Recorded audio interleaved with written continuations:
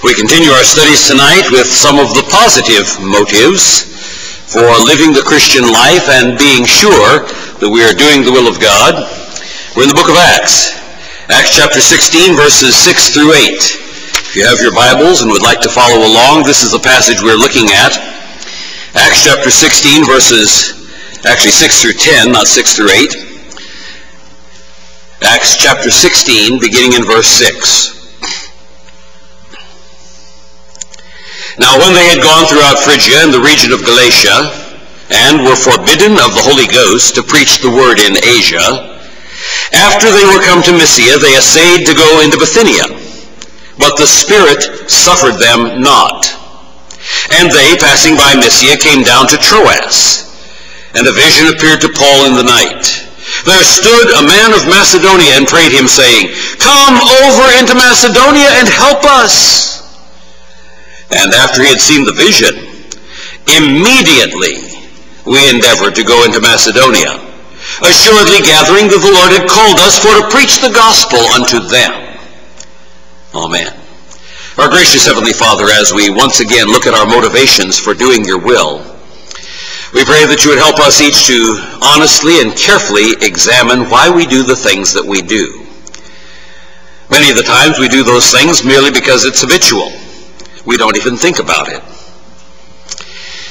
And Father, many of our habits come from the flesh. Help us to be willing to examine our habits. Many times we do things not merely because they're habit, but because we have made deliberate choices in the past, and rather than changing, we prefer, even though we sense that it is perhaps not right, we continue to do it because we've always done it that way before. Father, we pray that you will help us to examine our own hearts and help us to make choices that relate to what your word commands us to do. Choices that are based on positive motivations, all of which will fall under the rubric of doing all to the glory of God. Father, we pray for your blessings on your word as it goes forth tonight, that it will not return void, but that it will accomplish that which you please, and that it will prosper in the thing whereto you have sent it. For we pray these things in Jesus' name. Amen. As you know, we've been talking about the will of God and motivations, asking ourselves the question, why am I doing what I am doing?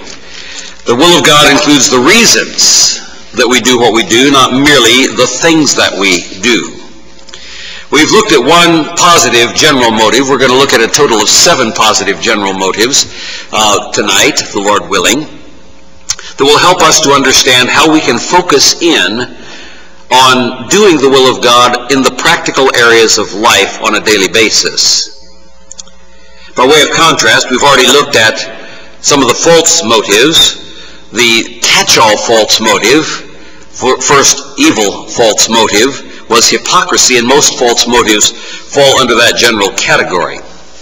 We'll see that most of the positive motives fall under the category of doing all to the glory of God, doing things so that God will be glorified. But the general catch-all for all the false motives is hypocrisy. We saw that included the second evil motive of pride, the third evil motive of covetousness, the fourth evil motive of sloth, the fifth evil motive of anger, the sixth evil motive of gluttony, the seventh evil motive of lust, and the eighth evil motive of envy. And we noted the difference between envy and jealousy. Jealousy wants what somebody else has, but not willing to work for it. Envy is when you want somebody something that someone else has, and if you can't get it, you're going to destroy what they have so they can't have it either. And we noted that that list of false motives are what are called the seven deadly sins, or the seven mortal sins, capital vices, cardinal vices, all of which are manifested at various times by hypocrisy. We saw that further that those motives are a form of idolatry of self, putting ourselves on the controlling throne of our lives rather than putting God on the controlling throne of our lives. That brought us to what we looked at last week, which was the evil motive number nine, the motive of fear. We saw that there are three basic kinds of fear. Fear of God, fear of man, and fear of temporal things that threaten our well-being. We asked ourselves the question, am I doing what I am doing out of fear of man, the fear of temporal things, the fear of human responses, or am I doing those things out of the fear of God? If we have fear that is not based on the fear of God, we are not doing the will of God and we are not being moved by divine direction. We notice some various important statistics out of the Bible. The word fear shows up 400 times, exactly 400 times in the Bible. The word afraid shows up 193 times in the Bible. The word fearful shows up 11 times in the Bible. The word terror shows up 29 times in the Bible. And of course, there are other related words that would indicate in the passage that someone was afraid and was afraid for the wrong reasons. But just with those four words alone, that's a total of 633 times, which should tell us that fear is one of the most common evil motivations faced by man. Fear is the response that we have when we want to protect ourselves. That's based on self-interest, usually not on interest in others, although that may occur on occasion where we're fearful for the sake of someone else. Fear is the first thing that comes to our mind when we perceive a situation that we think is dangerous. Fear is the natural reaction to the of the flesh to self-preservation. We notice that sometimes fear can be good and sometimes it can keep us from doing something stupid, like sticking our hands in the fire. Although we talked about how even that might be, on occasion, something that we should not fear, and we gave the illustration of Jan Hus and uh, Thomas Cranmer, men who were burned at the stake. That helped us to see that there were two different sources of fear. The fear of man, which is evil, and the fear of God, which is good. Proverbs 29:25, the fear of man bringeth, in, bringeth a snare, but whoso putteth his trust in the Lord shall be safe. Or Proverbs 28:1, the wicked flee when no man pursueth, but the righteous are bold as a lion. They have the fear of God. They're not afraid of that which is surrounding them because their heart is right before the Lord. We saw that 62 times in 25 books of the Bible were commanded with the words, fear not. That shows up those words, fear not, 62 times in 25 different books of the Bible, which should tell us something about our propensity to be fearful. That command, fear not, gives us courage to have the right motive in serving God and responding properly to divine direction. We read many of these in both the Old Testament, beginning with the promise to Abraham in Genesis 15:1, where God says, Fear not, Abraham. Or fear not, Abram. He's not yet gotten his name Abraham. He's still Abram at that point. Moving to the commands in the Gospels to fear not, and then to the commands about not fearing in the epistles and in the book of Revelation. We saw fear not, including fear not to Joseph, fear not to Mary, fear not to Zacharias, the father of John the Baptist, fear not to the angels of the angels speaking to the shepherds, fear not the command of Christ to believers, Matthew 10, 28, for example, fear not them which kill the body, but are not able to kill the soul, but rather fear him which is able to destroy both soul and body in hell. That's the fear of God. But don't fear those who can simply kill you. The fear not of the angels to the women at the tomb of the risen Christ told them, fear not. Christ said, fear not to the disciples when he commissioned them as fishers of men, Luke 5.10. And so was also James and John, the sons of Zebedee, which were partners with Simon. And Jesus said unto Simon, Fear not, for from henceforth thou shalt catch men. Christ said, Fear not to the father of the little girl who had died. Several other times when Jesus wanted his disciples to focus on the eternal things rather than the temporal troubles of life, he said, Fear not. Luke 12, 7, But even the very hairs of your head are all numbered. Fear not, therefore, ye are of more value than many sparrows. Or Luke 12, 32, Fear not, little flock, for it is your Father's good pleasure to give you the kingdom. Fear not was spoken prophetically to the faithful Jews who were awaiting the Messiah in John 12, 15. Fear not, daughter of Zion, quoting the book of Zechariah. Behold, thy king cometh, sitting on an ass's colt. Fear not was said to Paul when he looked like his ministry was at an end. And I think there have probably been many preachers throughout the history of the world who looked at their ministry and it looked like it was coming to an end. And they remembered those words to the Apostle Paul when it looked like he was in a terminal situation. and they heard the words, Fear not. Saying, Fear not, Paul, thou must be brought before Caesar, and lo, God hath given thee all them that sail with thee. And then we saw, Fear not, to John when he received the book of Revelation. Revelation 1.17, And when I saw him, I fell at his feet as dead, and he laid his right hand on me, saying unto me, Fear not, I am the first and the last. It's a rather important command in Scripture. That's why it is said so many times, because by human nature we are a fearful group of people. We always fear what's going on around us. We have that self-preservation interest built in. Instead of learning to walk by faith, learning to trust God for the difficult times of life, our hearts are often filled with fear. We saw that fear will keep you from doing the will of your master. And I think this is a rather important passage. We didn't actually read it last week, but I'd like to read it tonight. It's out of Matthew chapter 25, beginning in verse 24. The wicked servant did not do the will of the master because of fear. Fear will keep you from doing the will of the master. Let me begin reading in verse 24. Then he which had received the one talent came and said, Lord, I knew thee that thou art an hard man, reaping where thou hast not sown, and gathering where thou hast not strawed. Now listen to the next four words. And I was afraid. This is the guy that buried it in the earth. This is the guy who was immobilized. This is the guy who didn't do anything because he thought it might go wrong. And I was afraid, and went and hid thy talent in the earth. Lo, there thou hast that is thine. Well, I at least kept it from depreciating in value. Hey, do I get a pat on the back for that? I was scared that something might go wrong, and so, so I just I just hoarded it. Listen to what Jesus says. His Lord answered and said unto him, Thou wicked and slothful servant, thou knewest that I reap where I sowed not, and gather where I have not strawed. Thou oughtest therefore to have put my money to the exchangers, and then at my coming I should have received mine own with usury. Take therefore the talent from him, and give it unto him which hath ten talents. For unto every one that hath shall be given, and he shall have abundance. But from him that hath not shall be taken away even that which he hath.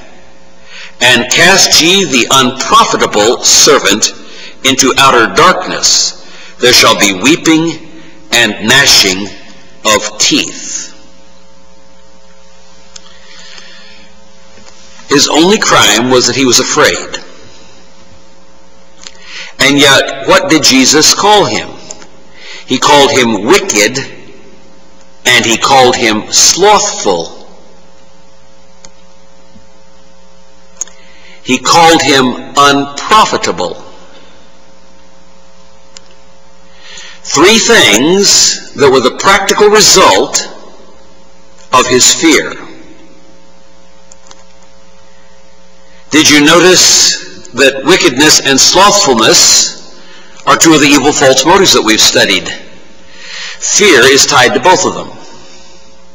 To wickedness and to slothfulness. God did not give him a pass merely because he was afraid. Fear was an evil motive in this passage that had eternal consequences. I hope that rings some bells with us. You see, fear does not come from God, but fear comes from the world, the flesh, and the devil. 2 Timothy chapter 1 verse 7 and 8. For God hath not given us the spirit of fear, but of power and of love and of a sound mind. Did you realize that fear destroys all three of those things? The first thing that fear destroys is power. That's what happened to this man here in this passage that Jesus gives the illustration of the man with the talent. It incapacitated him. He lost his ability to do. God hath not given us a spirit of fear, but of power. Fear negates power. Did you notice that the second thing that it negates is love? If you have the spirit of fear, it means that you do not have the spirit of love. That is a serious indictment against many Christians. Rather than having a love for God which motivates them to do in spite of what the circumstances suggest, instead of loving their fellow man, their fear controls them to love themselves alone.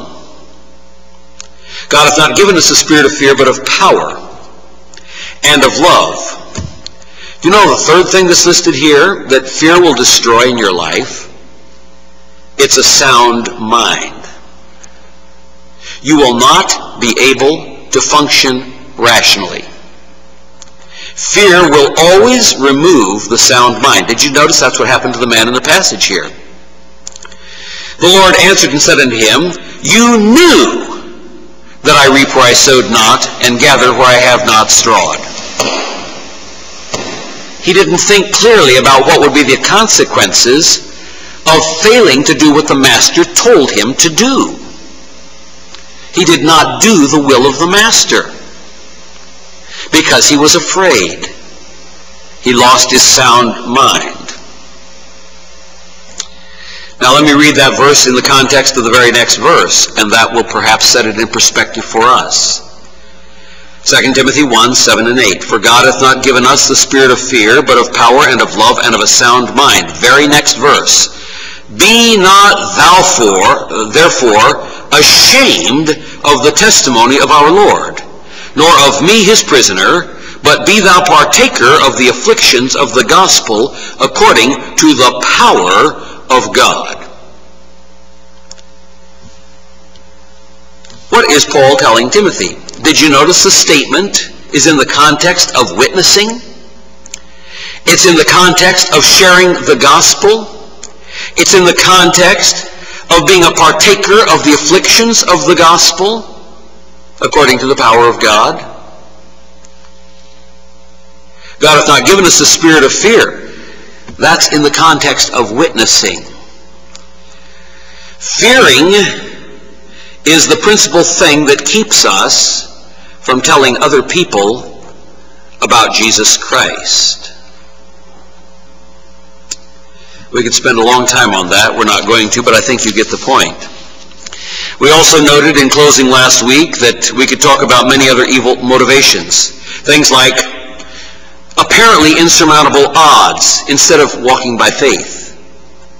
The evil motivation of saying, I'm too exhausted, instead of waiting on the Lord and renewing our strength and mounting up with wings as eagles and running and not be weary and walking and not fainting.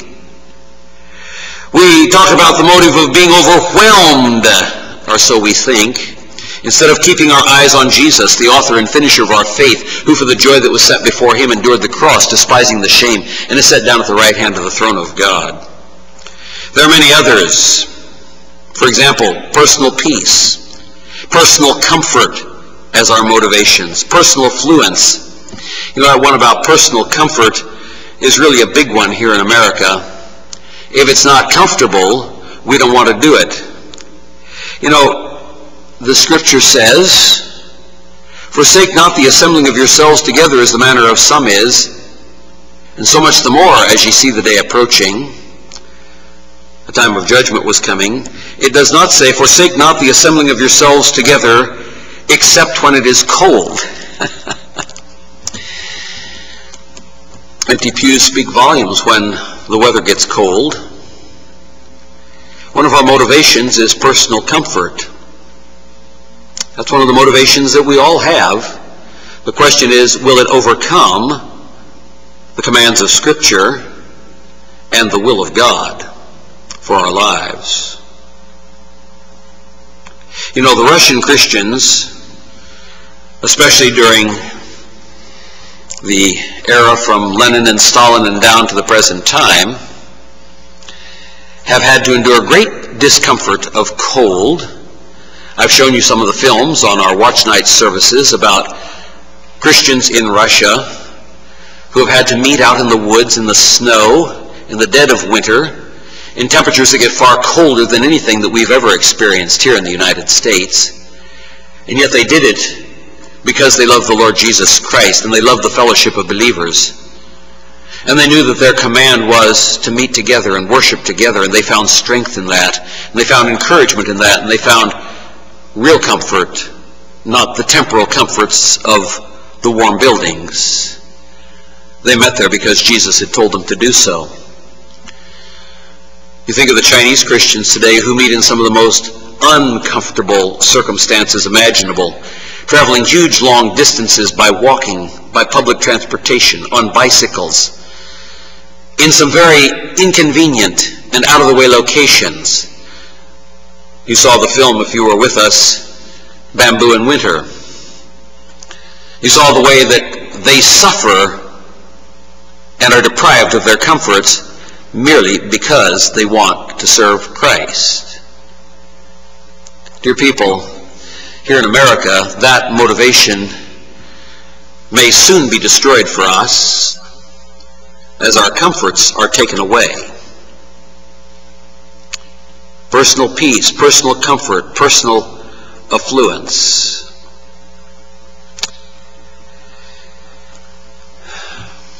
Each of those cases, the source of motivation is not from God. No, the source of evil motivation is the world, the flesh, the devil, the demons. And with that motivation coming from God and those four motivations, those are the only five possible sources of motivation available to the human race. God provides all the good sources of motivation. The other four motivations are from a different source. We noted that all the sins listed in Proverbs 6 can be traced back to one of those roots. We noted that all the sins listed in Galatians chapter 5, verses 19 through 21, the works of the flesh, can be traced back to one of those roots. Now that brings us to tonight, to positive motivations. We've already seen the underlying first positive motivation for doing the will of God. Do all to the glory of God. All of the other positive motivations stem from this, just like the false motives are attached to hypocrisy. And so we come to the second positive motivation in Scripture, which is heavenly rewards. The second positive motivation for doing the will of God is heavenly rewards. Everything that you want to get a reward for when you stand before Christ. And wanting heavenly rewards is a valid motive. Colossians chapter 3, verse 23 and following. And whatsoever ye do, do it heartily, as to the Lord, and not unto men, knowing that of the Lord ye shall receive the reward of the inheritance, for ye serve the Lord Christ. But he that doeth wrong shall receive for the wrong which he hath done, and there is no respect of persons. False motives do not receive a heavenly reward. Positive motives receive a heavenly reward. We should certainly want to receive those rewards when we stand before Christ. Or how about 1 Corinthians chapter 3, beginning in verse 9? For we are laborers together with God. Ye are God's husbandry. Ye are God's building according to the grace of God which is given unto me as a wise master builder, I have laid the foundation, and another buildeth thereon. But let every man take heed how he buildeth thereon. So all of us pay attention to this, Paul says. I laid the foundation, and he tells you in the next verse what that foundation is. I'm the wise master builder. I've, I've set the stage. He's the one that wrote those books that are scripture that we are to listen to, that we are to heed because it's the Word of God through Paul. Let every man take heed how he buildeth thereupon, for other foundation can no man lay than that is laid, which is Jesus Christ. He laid the foundation for us here. Now, if any man build upon this foundation, and you folks and I we are all building on that foundation. If you're a Christian, you are, in fact, building on that foundation. The question is, what are you building? What are the building materials that you are using? Is it junk or is it good? If any man build upon this foundation gold, silver, precious stones, And then he gives you the contrast, wood, hay, stubble. Every man's work shall be made manifest. You know, there's a visible manifestation of our faith. It's the works that we do. We've talked about what is a good work in the eyes of God. What are the character qualities of a good work? What things are good in God's eyes and what things are not good. We'll not go over that again tonight. I hope you remember it. Every man's work shall be made manifest, for the day shall declare it. In other words, you're not going to get around the corner on this one. You can't hide out behind somebody else on this one. You can't just sort of avoid appearing on this one. The day shall declare it, because it shall be revealed by fire. The wicked are going to be cast into fire forever. But did you know our works are going to pass through the fire too? It says so here. Every man's work shall be made manifest, for the day shall declare it, because it shall be revealed by fire, and the fire shall try every man's work of what sort it is. What's it made out of? It may look good on the surface, but the question is, what is it made out of? Fire tests things. Are they consumable or are they refinable?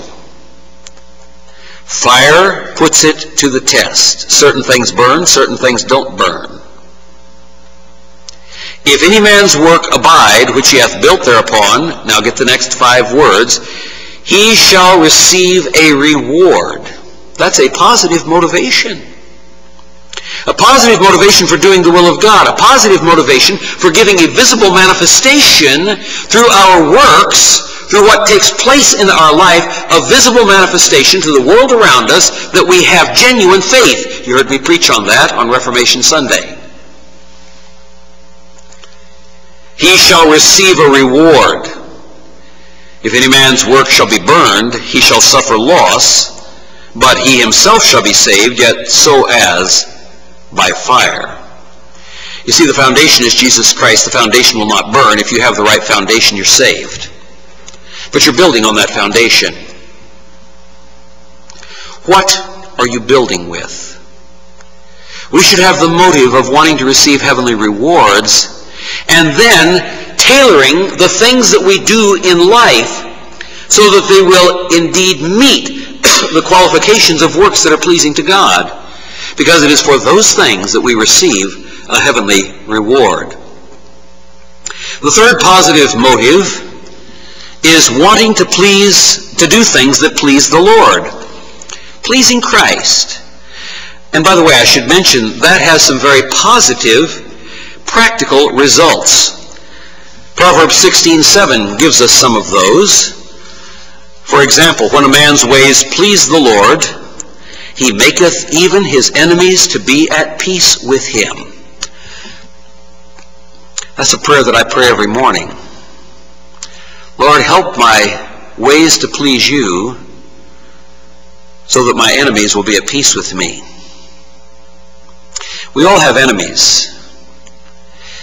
Do you know how to control the enemies so that they will be at peace with you? When a man's ways please the Lord, that should be a very positive motive. When a man's ways please the Lord, he maketh even his enemies to be at peace with him. I've been reading through the Old Testament in my morning devotions and looking at some of the kings. And noting that when the various kings, and it gives you commentary to this effect, when their ways pleased the Lord, they had peace in Judah or peace in Israel as long as their ways pleased the Lord. As soon as their ways did not please the Lord, he raised up enemies against them. There's the practical statement of that. One of our motives should be to please the Lord because he will, in fact, make our enemies to be at peace with us. Are we surrounded by enemies? Do the enemies seem to be coming in like a flood? Does there seem to be a situation in the United States with infiltration from foreign lands? The ways of the Christians? Are they pleasing to the Lord? As you look at the church in general. There are positive practical results for wanting to please the Lord. Psalm 69, verses 30 through 32. I will praise the name of God with a song and will magnify him with thanksgiving. This also shall please the Lord. That is, praising the name of God with song, magnifying him with thanksgiving. Is your life filled with thanksgiving or complaint? This also shall please the Lord better than an ox or bullock that hath horns and hooves. That's better than bringing animal sacrifices. Praising God with a song, magnifying him with thanksgiving. And there's a practical result to that. Verse 32. The humble shall see this and be glad, and your heart shall live that seek God. Practical results of wanting to please the Lord in all that we do. You know, that motive of pleasing the Lord affects everything, even how we view the wonderful blessing of marriage. I can remember when I was still single, years and years and years ago. It's a long time ago. But going through high school and college and worrying about would I ever got, get a chance to get married.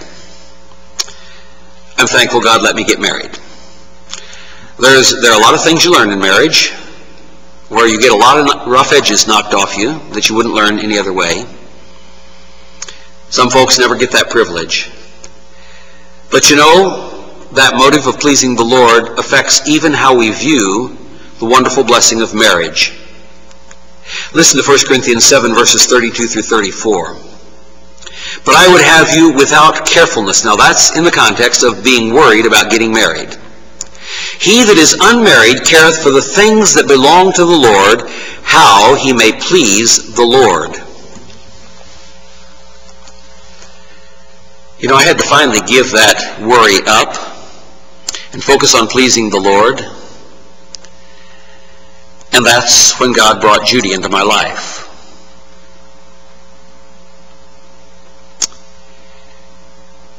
I would have you to be without carefulness, that is, without worrying about getting married. He that is unmarried careth for the things that belong to the Lord, how he may please the Lord. But he that is married careth for the things that are of the world, how he may please his wife. There is a difference also between a wife and a virgin. The unmarried woman careth for the things of the Lord, how that she may be holy both in body and in spirit. But she that is married careth for the things of the world, how she may please her husband. There are some positive benefits to being single. Paul is listing them here because at Corinth, sex was a big thing. I mean, it was like the central focus of everybody in town. To Corinthianize meant to be a fornicator. They were overwhelmed with sexual imagery in that city, and sexual desires and sexual motivations. And Paul deals with a lot of that in 1 Corinthians. It describes our culture here in the United States of America, and the church has been affected by that culture. And Paul is reminding them that if you're single, it gives you a tremendous opportunity for focusing on things that please the Lord. Since I've become widowed, it has refocused me on that area. How I may please the Lord. The unmarried woman careth for the things of the Lord. And here are the things that she focuses on how that she may be holy, both in body and in spirit. Much to learn under this third positive motive of wanting to do things that please the Lord. It has practical effect on how we live our lives. And that's what brings us to the next positive result of that motive of wanting to do things that please the Lord. That motive affects how we live the Christian life, free from the entanglements of the world in two beneficial areas. Number one, spiritual bounty, and number two, spiritual victory. Pleasing the Lord and related to spiritual bounty. Listen to 1 Thessalonians chapter 4, verse 1.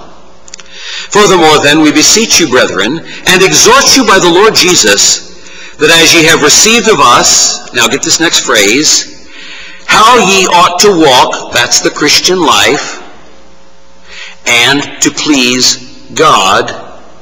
And here's the results. So you would abound more and more. Spiritual bounty comes from walking the Christian life in a manner that pleases the Lord. So you would abound more and more. It also relates to spiritual victory. Listen to 2 Timothy chapter 2, verse 4. No man that warreth, and you are in a war, and so am I, no man that warreth entangleth himself with the affairs of this life. Listen to the next part. That he may please him who hath chosen him to be a soldier. Is your desire in your spiritual warfare to please the Lord? Because he has chosen you to be a soldier. It tells us, no man that warreth entangleth himself with the affairs of this life. We have spiritual victory as we focus on pleasing the Lord. He brings it about in our spiritual warfare, that he may please him who hath chosen him to be a soldier. Let me give you another practical application of this particular motive of pleasing God, an application for children and employees. Did you know that obedience pleases God, but sassing those in authority does not please God? Titus chapter 2, verse 9. Exhort servants to be obedient unto their own masters, and to please them well in all things, not answering again. Our job is to please our employer, and as we do so, we please God. Christ himself is our principal example of pleasing the Heavenly Father. Listen to John chapter 8, verse 29. And he that sent me is with me. The Father hath not left me alone. Now listen to the next. It gives you a for that means because. He that sent me is with me. The Father hath not left me alone, for I do always those things that please him. Did Jesus ever do anything that was not pleasing to the Heavenly Father? No. I think you'd agree. Jesus never did anything that was not pleasing to the Heavenly Father. Is Jesus our example? Yes. He's our principal example of doing everything that pleases the Father. Even things that are difficult, yes. Even things that result in the scorn and mockery of other people? Yes. Even testifying to the truth when people oppose us and call us blasphemers? Yes. Even in a situation of suffering to the point of being beaten and stripped naked and hung on a cross and killed? Yes. For I do always those things that please him.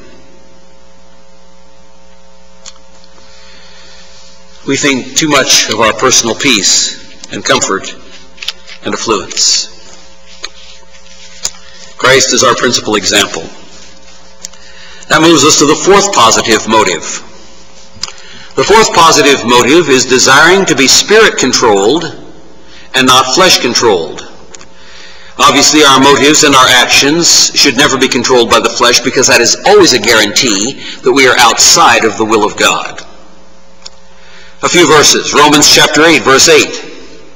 So then, they that are in the flesh, get the next three words, cannot, not sometimes don't, they that are in the flesh cannot please God. If you're walking in the flesh, can you please God? No. If you're walking in the flesh, can you do the will of God? No. How about Galatians chapter 5, verse 16? We should be controlled by the Spirit rather than by the flesh. This I say then, walk in the Spirit, and ye shall not fulfill the lust of the flesh. We should be motivated by the desire to be controlled by the Spirit of God and not by the flesh. You've heard me preach in the past on Romans chapter 6 and Romans chapter 12. Two different issues are being discussed in those two different chapters. In Romans chapter 12, verses 1 and 2, Paul deals with the one-time presentation of your body as a living sacrifice. And it has continuing results and eternal consequences. Present your body a living sacrifice, wholly acceptable unto God, which is your reasonable service, and be not conformed to this world, but be ye transformed by the renewing of your mind, that ye may prove what is that good and acceptable and perfect will of God. That's clearly a verse that deals with the will of God. If you haven't done Romans 12, you will not be doing the will of God.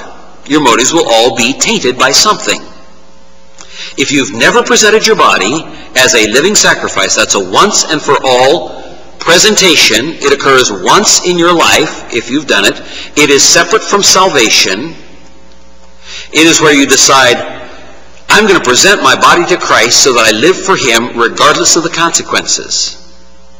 I did that many, many years ago as a child when I understood that passage. I didn't know the Greek. I didn't know that it was an aorist tense at that point, which is a punctiliar action that has continuing results.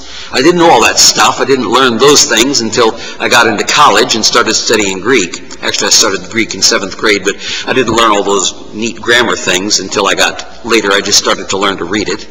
My dad taught me. If you've never done that, folks, you will not be walking in the will of God. Because you see, you need to present your body as a living sacrifice. Your body is what expresses you to the world around you. I beseech you, therefore, brethren. He begs them to do it. He's writing to Christians. He's writing one of the most powerful doctrinal epistles in the New Testament. There are people who already know a lot of theology, but he's begging them to do something.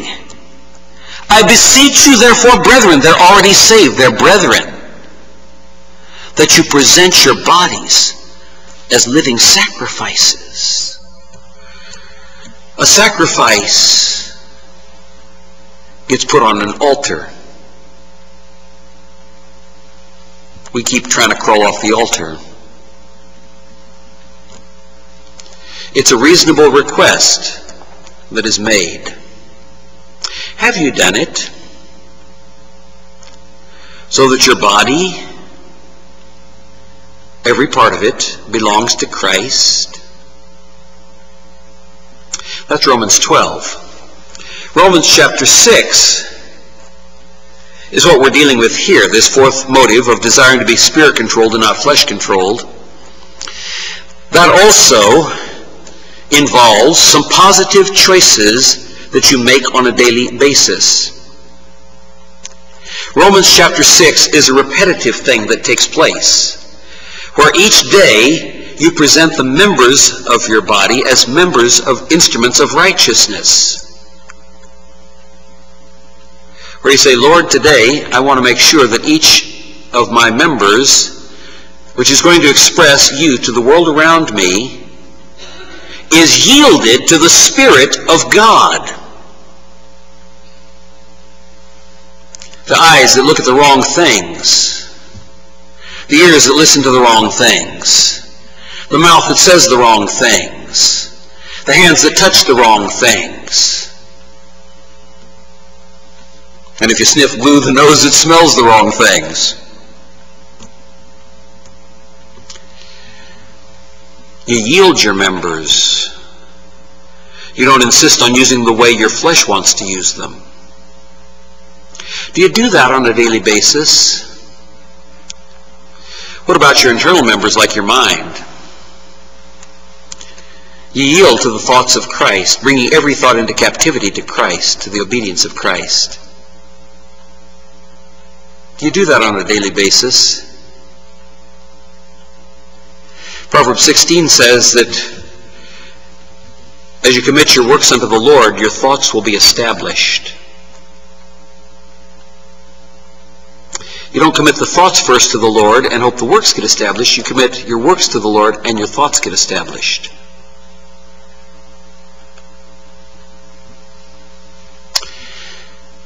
That's a very powerful motivation. Desiring to be controlled by the Spirit of God and not controlled by the flesh. About Galatians chapter 5, verse 25? If we live in the Spirit, let us also walk in the Spirit. Just like a fish lives in water, and the fish has no desire to get out of water and crawl on land like the evolutionary model about some fish that years ago decided there wasn't enough to eat in the ocean, and so it walked out on land and started to breathe air. What a bizarre fairy tale. If we live in the Spirit, let us also walk in the Spirit. The fifth positive motive, and I think one of the most powerful and important, the fifth positive motive is love. Love that results in joyful, selfless giving. In other words, personal sacrifice out of love for others, not selfishness. Now, I've also already talked about loving God, and that's why we do things to the glory of God. Because we love Him, we want to please Him. I'm talking about love for others. Love that results in joyful, selfless giving, sacrificial love for others, not selfishness for ourselves. Let me give you some verses on that. Romans chapter 15, verse 1. We then that are strong ought to bear the infirmities of the weak. Now listen to the last five words. And not to please ourselves. Our love for others should overcome that selfish motivation of pleasing ourselves. How about Romans 15:2? Let every one of us please his neighbor for his good to edification. It will cost you something to do that. You're doing something for your neighbor. You're doing it for his good. You're doing it for his edification, even if it costs you something. That is for his building up. That's what the word edification means. How about 1 Corinthians chapter 10, verse 33? Even as I please all men in all things, not seeking mine own profit, but the profit of many. And Paul, as an evangelist, adds these words, that they may be saved. Hey, he says, I didn't go into the evangelistic crusade business so I could make a lot of money like a lot of the popular evangelists of history have done. And they hold their crusades and they take their big offerings and they smack people on the forehead and slay them in the spirit and drop blankets over them for modesty's sake. They get the people speaking in tongues. I think I told you one situation years and years ago.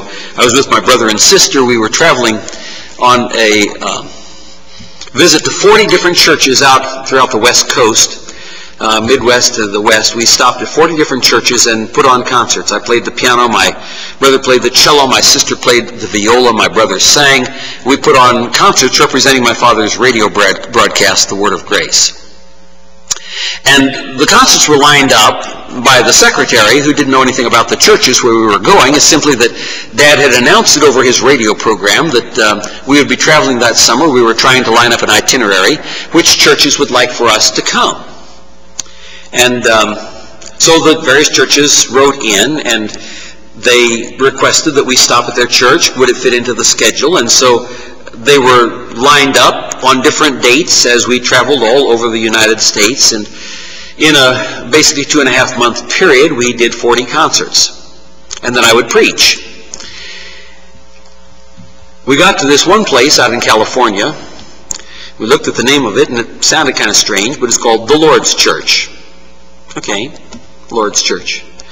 We looked for the address, and we didn't have GPSs back in those days. You simply had to use a map and find your way there.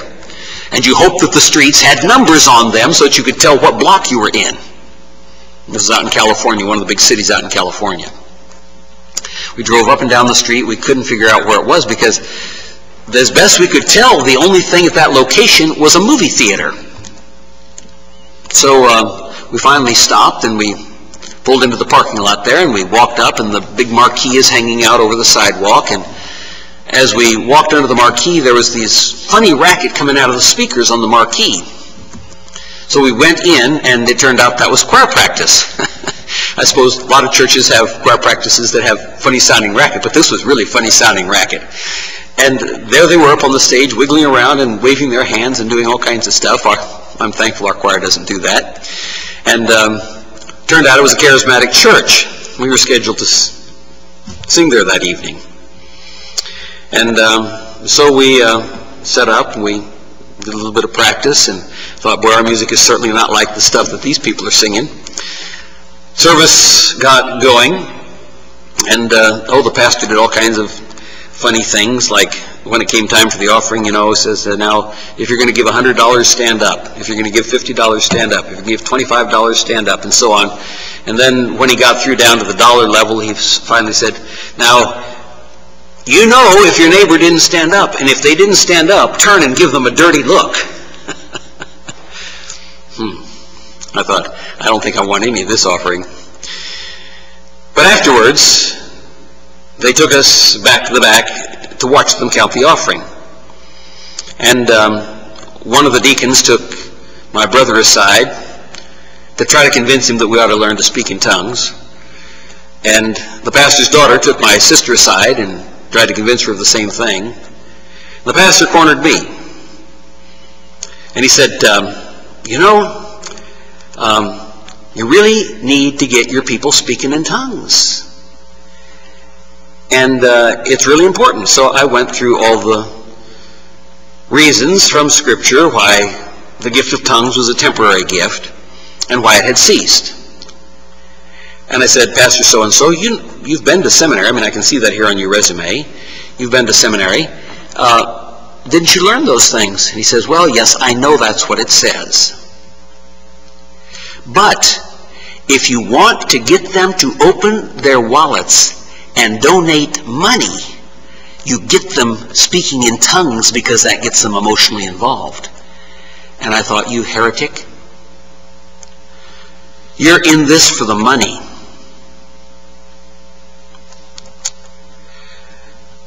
Exactly contrary to what we see here in 1 Corinthians 10 33. Even as I please all men in all things, not seeking mine own profit not seeking mine own profit. Paul was an evangelist. But the profit of many that they may be saved. Not so that I can control them and get money out of their pockets. That fifth motive is a powerful motive, that motive of love for others that results in joyful, selfless giving, personal sacrifice for others, not selfishness. I should pause and put one caveat in here at this point.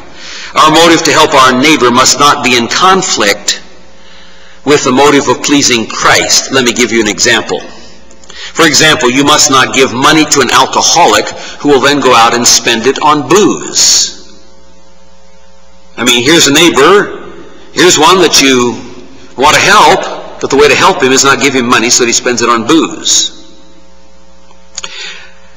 Galatians 1.10, For do I now persuade men or God? Do I seek to please men? For if I yet please men, I should not be the servant of Christ. He tells us in Romans that we're supposed to please our neighbor, but here he tells us we don't please men because it will keep us from being the servant of Christ. You cannot put those two motives in conflict one with another. That brings us to the sixth positive motive, and we're running out of time here, so let me move through the last two quickly. The sixth positive motive is the deliberate, thoughtful avoidance of sin. Motive number six, the deliberate, thoughtful avoidance of sin. And anything that is sin does not please God. I'll give you an illustration of that. 1 Thessalonians 2.15. The Apostle Paul, talking about the Jews, it says, who both killed the Lord Jesus and their own prophets, and have persecuted us, and they please not God, and are contrary to all men.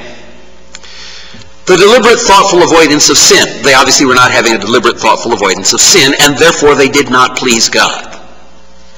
Many illustrations of that, but I think that's a simple enough one to figure out. Number seven, the seventh and final positive motive is wanting to walk by faith. It's not just a matter of falling into the walk of faith. It's a matter of earnestly desiring to walk by faith. I think that's a key motive, just like doing everything to the glory of God. And that walk of faith is clearly a motive that pleases God. Hebrews chapter 11, verse 6. But without faith, it is impossible to please him. For he that cometh to God must believe that he is, and that he is the rewarder of them that diligently seek him. Isn't that interesting? That ties us back in with that first new motive that we looked at tonight, the desire for rewards. Without faith, it's impossible to please him. For he that cometh to God must believe that he is, and, not merely believe that he is, and that he is the rewarder of them that diligently seek him. Do you have that as a positive motive in your life? The earnest desire to want to walk by faith. If you do, God will give you the opportunity. He'll put you to the test. He'll put you in a situation where you can either walk by sight or you can walk by faith. And walking by faith is sometimes very uncomfortable because we like to know where we're going and we, we feel our way with our feet and we look with our eyes and we touch with our hands and, and we want to see if it's really there or do we really have to trust God? If God sees in your heart the earnest desire to walk by faith, He's going to give you the opportunity to walk by faith and then see if you will walk by faith or if you'll still go stumbling along by sight. But as you walk by faith, not only does your life fill with joy and peace and with confidence, it gives you a greater faith to realize that God is there. God cares about you as an individual. God is there to take care of you because you are trusting Him. The motives that God finds positive motives that we might live a life that is pleasing to Him. Our gracious Heavenly Father, how we thank you once again for your word and for its power for the privilege of looking into Scripture again tonight to test our motives, to see if they are motives that please you, motives that are in obedience to your word, motives that give glory to God, motives that are connected to faith, motives that are controlled by the Spirit of God, not controlled by the flesh, motives that stem from a heart filled with love for you and love for the brethren. Help us, Father, to have motives that we clearly and thoughtfully and deliberately avoid sin. So that when we stand before our Lord Jesus Christ, we can hear him say, Well done, thou good and faithful servant. Enter thou into the joy of thy Lord. And not to be like that wicked and slothful servant who is motivated by fear, and his motivation also had not only loss of what he had, but it had eternal consequences as well. We pray these things in Jesus' name. Amen. Our closing hymn for tonight is hymn number 402, Trust and Obey. I think that's much